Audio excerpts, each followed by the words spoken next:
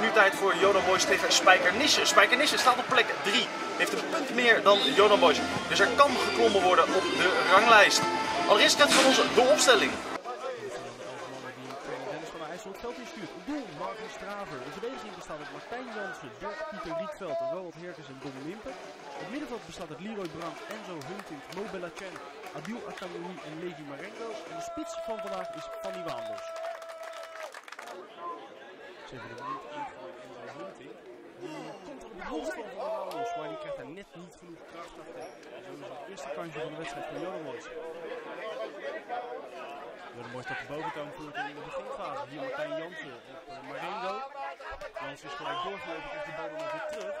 En heeft wat meters voor zich. Ziet dat Fanny Waandels in de bal komt. Die kijkt dan of hij iemand kan vinden. Vindt Enzo Hunting. Kapt. Haalt uit. Oh, maar net over en naast de goal. Knap schot van Enzo Hunting. En is daar gebeurt aan Spijker Nissen. Hier is het Van Axel die aan de rechterkant de bal krijgt. Probeert Martijn Jansen voorbij te komen. Moet kappen, moet draaien. Vindt een paar Maar waar hij dat Pieter Rietveld op zijn pad. En dan de eerste kant van Spijker Nissen ook weer verloren. Kom maar Martijn, kom maar Martijn. Dan weer de beurt aan Joran Boys. Hier de vrije trap van Don Limpen. Nou, wel natuurlijk Waandel zoeken. Die kopt van de bal op Marengo. En dan komt dan via Martijn Jansen. Die heel via links op kan komen. Hier helemaal vrij. Legt goed terug. En nu! Hoe een redding van de doelman op de doellijn. En hier had het nog 1-0 moeten zijn. Spijker is er wel. Eh, Van Axel. Zit daar niet vooruit, is nu terug op Van Dongen. Wederom van Axel met Jansen bij zich. Dan gaat Mariana eroverheen. En dan dan is het een doelpunt. Paulet. Paulet kopt de bal achter Marvin Straver. En zo staat het 0 tegen 1 voor Spijkenissen. Dit is het een lange bal. Even Marengo. Tast dan mis. Dan kan Mariana door. Die kapt dan iemand uit. En dan Van Axel Dongen. Een goede save voor Marvin Straver. Gepunt hier 0-2. Zitten we in de. Dus hier balverlies van Schenk. En kan Hunting wel nog wegsturen. Die komt er meteen. En dan is het. En schiet de bal huizenhoog over en naast. Dus Marengo nog de vrije trap. Maar net gemist de paal. Het scheelt maar luttele centimeters. En het had hier 1 tegen 1 gestaan.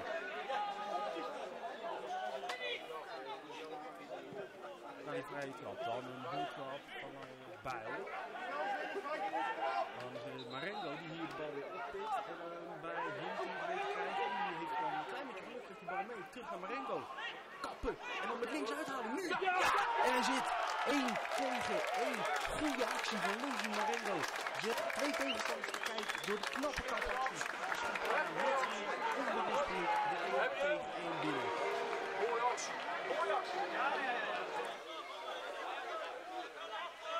Er gebeurt een tijdje niks. en Dan is het weer de beurt aan Spijkerissen. Hier, Van. Dan het weer Paulet. En die schiet hem achter Marvin Straven.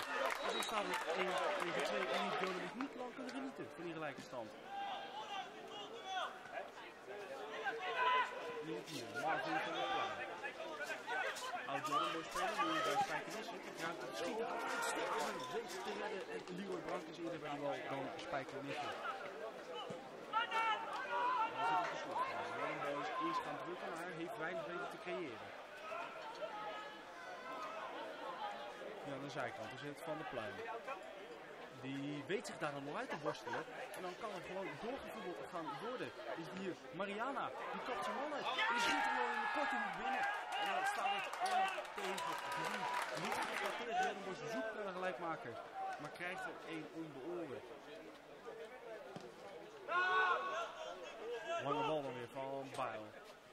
Zoekt het natuurlijk van Dobbelen. Ja, en dan is het hier. Van Axelbollen. Die is weg. Eén bal op de slaven. En scoort ook. Ook in de korte hoek. En zo wordt het 1 tegen 4. Dennis Spijkenissen, uh, 1-4. Ik denk dat je wat anders verwacht. Nou, het is een uitslag die wel staat. Je krijgt vandaag weer vier tegengoals. Dat weet ik niet. Uh, ik denk dat als je de eerste half uur gewoon zo goed voetbalt, je, je krijgt twee goede kansen via Enzo, en naar deal moet scoren, dat, dat na een half uur komen ze uit 1-0. Dan loop je eigenlijk van de rest van de wedstrijd achter de feiten. Ja, dat was uh, praktisch de eerste beste kans voor Spijkenissen die binnenviel. Nou ja, kijk, uh, het aantal tegengoals zegt denk ik, en vandaag ook weer vier. Uh, dat betekent dat we het gewoon niet goed hebben gedaan. En uh, wat je zegt ook, de eerste de beste, niet de eerste beste dreiging, als dat daarvoor dan de bal voorlangs bij de tweede paal, waar niemand in meeliep. Ja, voorzet wordt gegeven, ik vond dat die jongen wel vrij makkelijk in kon koppen. En eigenlijk bij alle tegengoals die we krijgen vandaag, dan kijk je ook als trainer natuurlijk wat je dan had kunnen doen met je ploeg. En daar heb ik geen goed gevoel over. En dan de tweede helft kom je de rust, uh, de rust uitgevoerd uit de startblokken. Uh, Levi Marengo met een, met een opvlieging die hem knap binnenschiet en daarna loopt hij de feiten aan.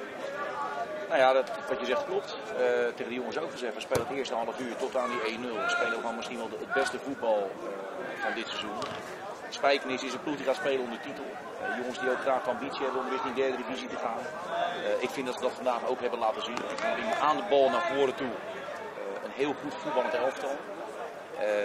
maar de 1-0 valt en dat kan gebeuren in voetbal. Maar dan zie je bij ons een verkeerde reactie.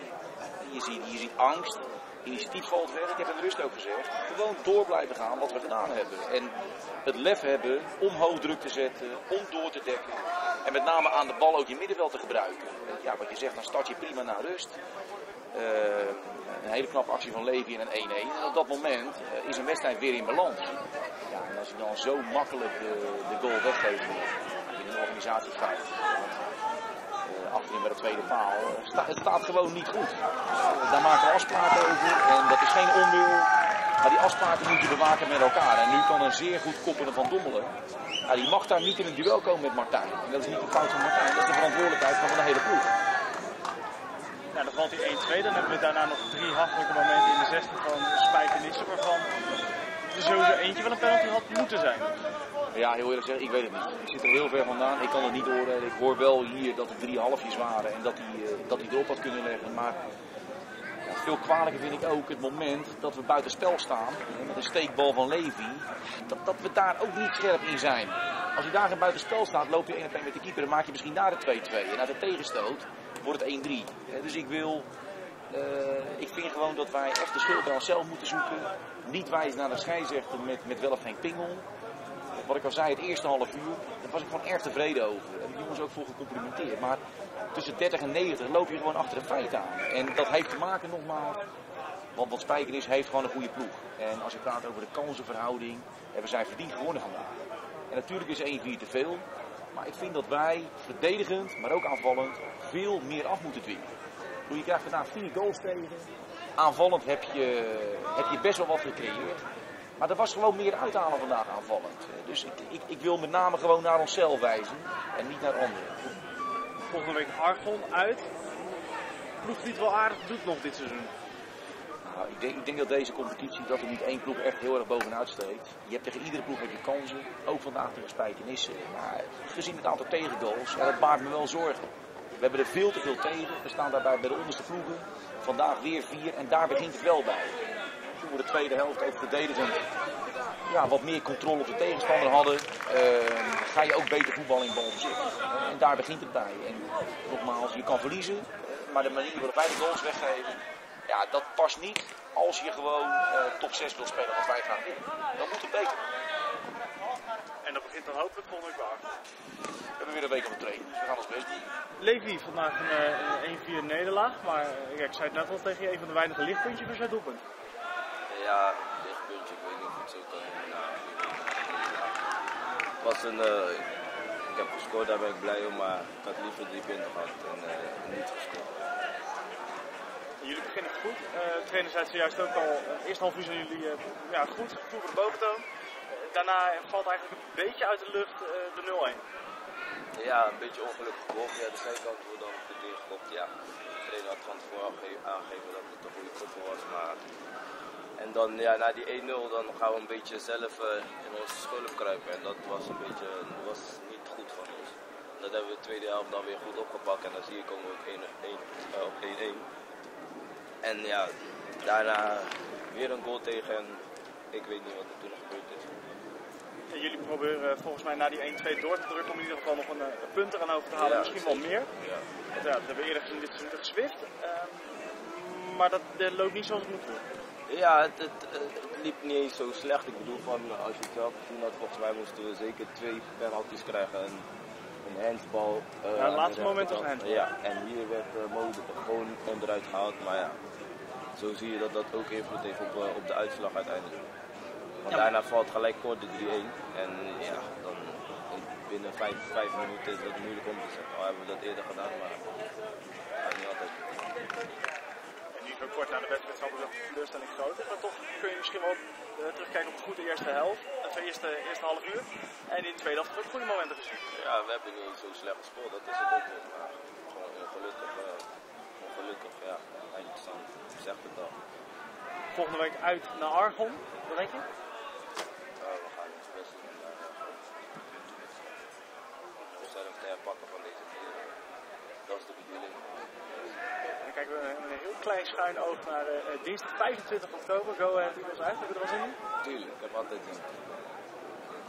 Zeker tegen Go Ahead, tegen een, eh, een club die hoger dan ons speelt, profclub? Misschien dat we daar kunnen stunten en eh, nog wat moois kunnen. Ja, dat was dan Jordan Boys Report nummer 4 van het seizoen 2016-2017. Een jammerlijke 1-4 nederlaag tegen Spijkenisse. Wilt u naar de wedstrijd Go Ahead Eagles en Jordan Boys voor de KVB-week dinsdag 25 oktober? Kunt u nog steeds naar de website www.cvv.Jordan Daar vindt u meer informatie over die wedstrijd en over de kaarten. We zien u graag over twee weken weer, dan met een nieuwe thuiswedstrijd van Jordan Boys. Tot dan!